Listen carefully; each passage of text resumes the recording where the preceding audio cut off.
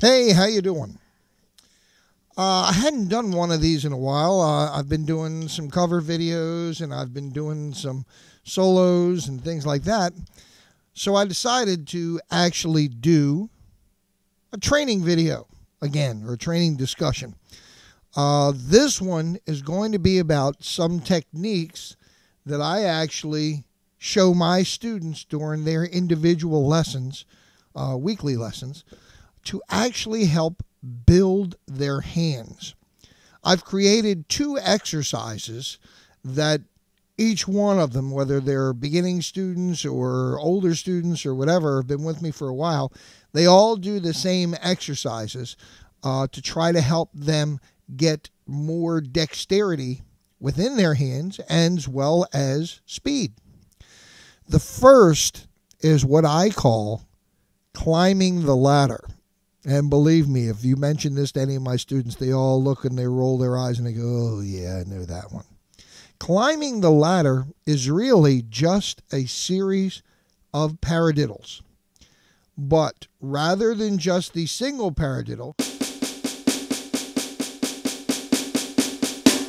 we make it kind of into a game. The actual exercise consists of a single paradiddle, left, right, left, left, right, left, right, right, done two times. So it ends up being left, right, left, left, right, left, right, right, left, right, left, left, right, left, right, right. After that, we do one double paradiddle. Left,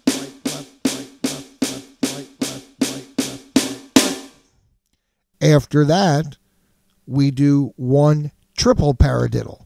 Left, right,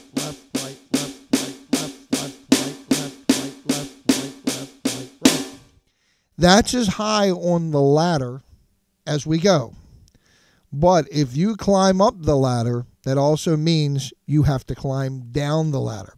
And the series goes two single paradiddles, one double paradiddle, one triple paradiddle, one double paradiddle, two single paradiddles, and then a tap at the end to actually show that the exercise is concluded. And what this does is treat us, actually helps us learn how to do dexterity between doing singles and doubles in any length. And by that I mean, you know, all of our drumming pretty much is based around singles and doubles. I mean, we can do triples and, and quadruples and things like that, but when you're talking about most of the exercises that you're doing, you're doing them in a single and double fashion.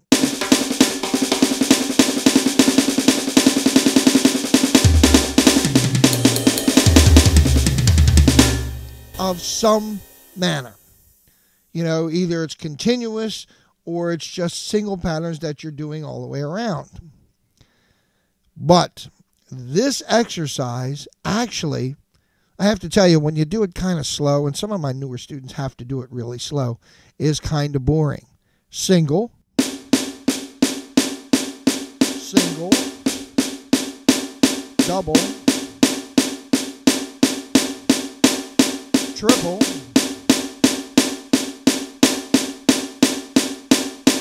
double, single,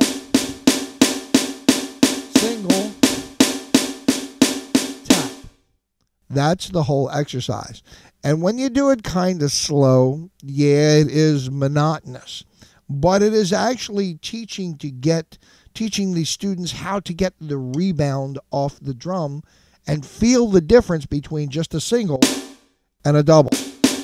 Because a double you're going to feel the rebound on the second beat, while the single, naturally, you're going to feel on the first beat. But the really cool thing happens is when you get it a little, even a little bit faster.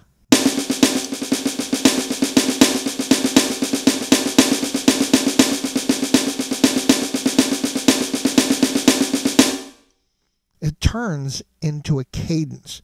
And in fact, a couple of the high schools around here have evidently adopted this. I have students in a lot of different high schools, and they've evidently passed this on, and they make this cadence happen even for their drum line.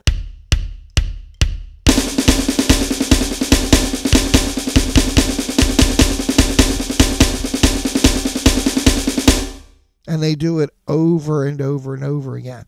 And when you really burn it up,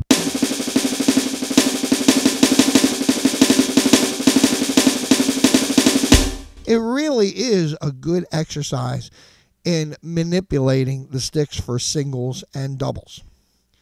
That's the first exercise that I have them do. The second exercise that I've been working with all of my students on is the ability to do a balanced single stroke roll and double stroke roll.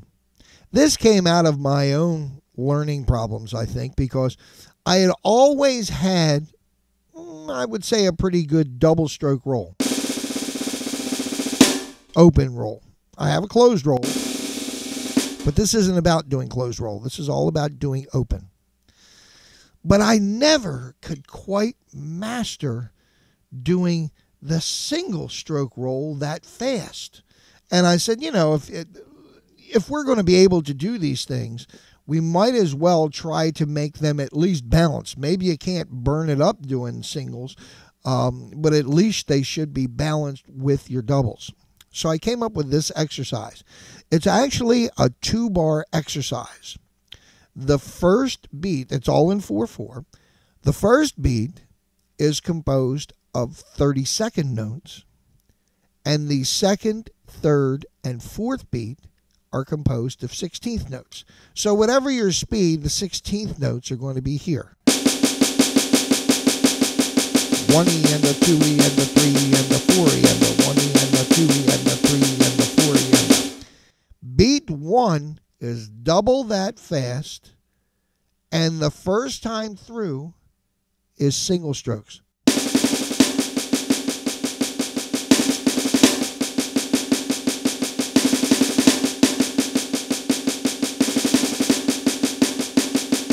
The reason I break it up that way is I try to keep it more in a burst mode rather than a continuous because after a while, even if even after a short while, a lot of my students get taxed with being tired trying to do those 30 second notes that fast. So I only give them one beat's worth.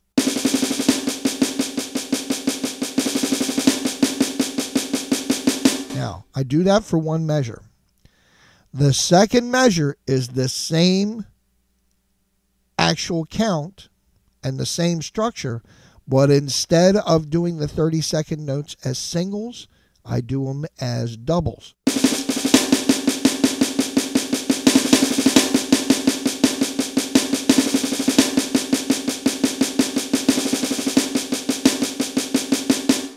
And they alternate one measure with singles one measure with doubles. And they are given the instructions to try to make the 16th sound exactly the same and try to make the 32nd notes sound exactly the same, whether they're doing singles or doubles. So it's the younger students who can't do the 16th notes very fast. We do that one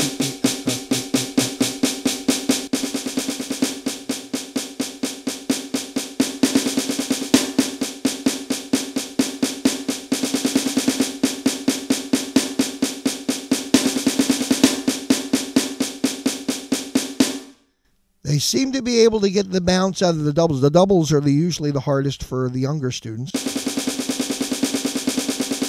And if we have to take it slower, we take it slower.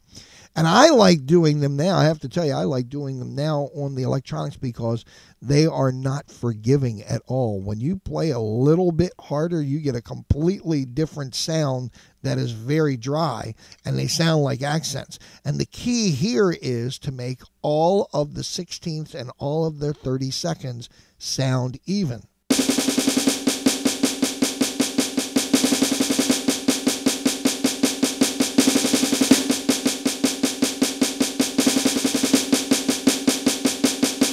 Not only do they have to be spaced evenly, but the minute I do this, as opposed to you hear that accent come out, we don't want that accent in there. So we're trying to do this for balance.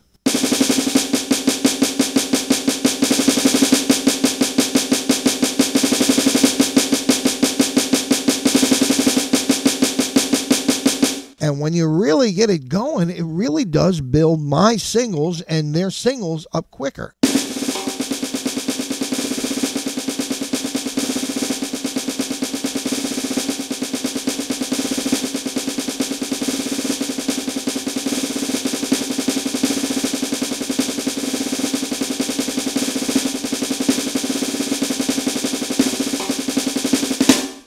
So on and so on and so on. So that's my tip for some hand technique things. That let's recap this. The first one that we talked about was climbing the ladder, which consists of two single paradiddles, a double paradiddle, a triple paradiddle, a double paradiddle, two single paradiddles, and a tap.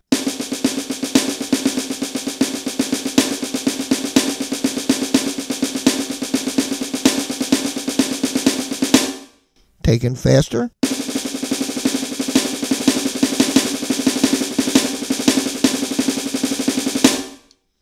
And the second exercise, which I don't really have a name for, but is the roll exercise to balance out the singles and doubles with 30 second notes for beat 1, 16th notes for beats 2, 3, and 4, alternating beat 1 with doubles and singles.